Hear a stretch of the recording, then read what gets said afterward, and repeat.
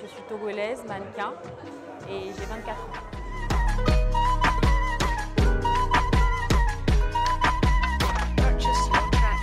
C'est une passion, j'aime bien le mannequinat, j'aime bien euh, pouvoir euh, me montrer sur un podium et c'est un métier qui m'avait toujours fasciné donc je me suis lancée.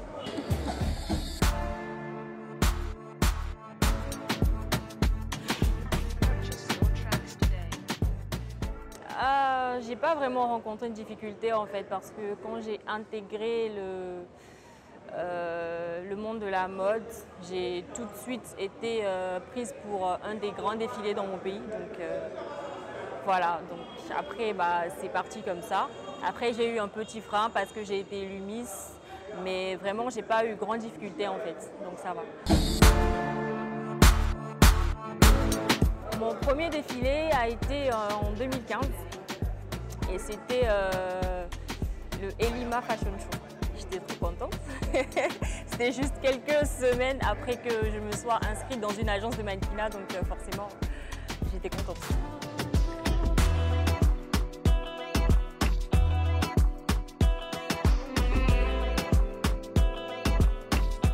Hmm, le plus gros événement de mode.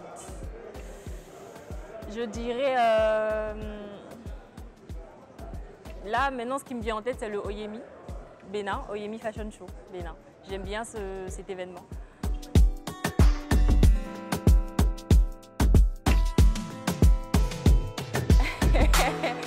La journée de mannequin. Alors, on se réveille, on se prépare et euh, généralement toute la journée, on est euh, sur le site pour euh, les préparatifs. Donc, c'est beaucoup de stress, mais beaucoup d'excitation aussi. Comme je l'ai dit au début, j'aime bien, euh, bien tout ce qui est euh, me montrer, euh, les séances photos.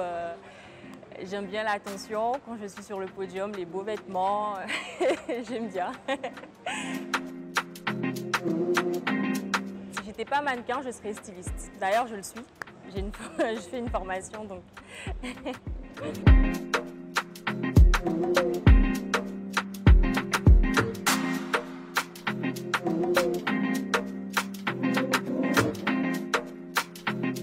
Dans le domaine, dans mon domaine à moi, je dirais que mon idole c'est Kimora Lee Simmons. Elle est mannequin, euh, mannequin américaine et euh, elle est aussi designer. Donc je suis un peu son parcours. C'est une femme forte qui, euh, fait un peu ce que j'aime comme parcours professionnel. Donc oui, c'est un peu un exemple. Depuis que je suis petite, je regardais les télé-réalités qu'elle faisait. Donc j'ai grandi un peu avec elle. Donc oui, voilà.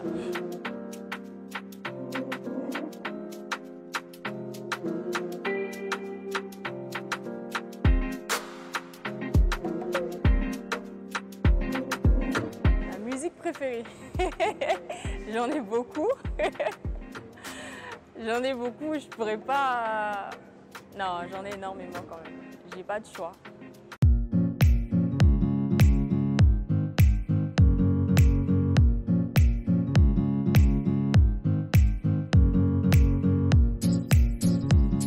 Mon plat préféré Aloko, Amanda. Ici on dit Amanda, mais généralement c'est Aloko.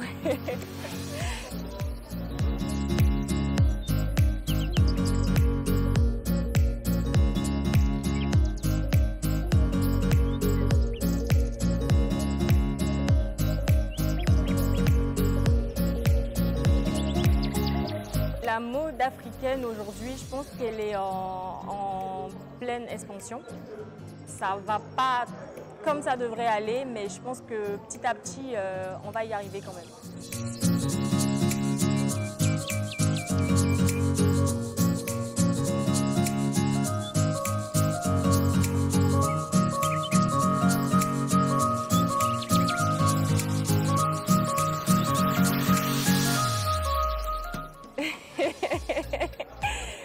Pourquoi la plupart des gens ont une mauvaise image des mannequins? Je sais pas, c'est peut-être par rapport aux, spéculations de la société. Donc les mannequins sont un peu, un peu traités par la société comme étant des, filles faciles, je vais dire. Mais c'est pas du tout ça.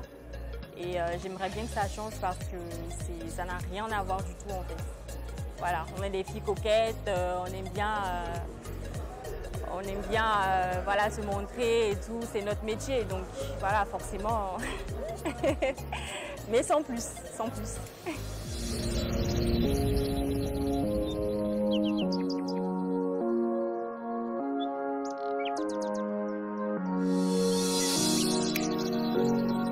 Mon projet pour le futur, déjà, euh, je vais bientôt arrêter le mannequinat.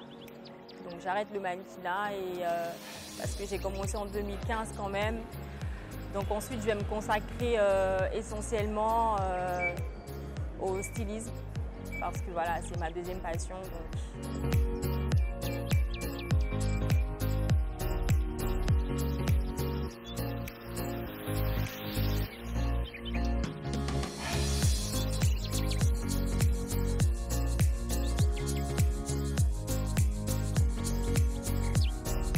Le seul conseil que j'ai à donner à une personne qui voudrait se lancer dans le mannequinat, bon j'en ai deux. Déjà premièrement, si euh, cette personne veut vraiment le faire, euh, qu'elle le fasse d'abord pour le plaisir, qu'elle s'y mette vraiment avec passion. Et de deux, c'est de ne pas mettre euh, toutes, toutes ses chances ou peut-être se dire que voilà c'est le mannequinat, donc c'est le mannequinat en fait. Il faut, il faut aussi avoir des études, il faut avoir d'autres ambitions que seulement de défiler parce que ça passe très vite et c'est très court en fait, euh, devenir mannequin. Donc après, euh, il faut se diversifier en fait. Je vous en prie.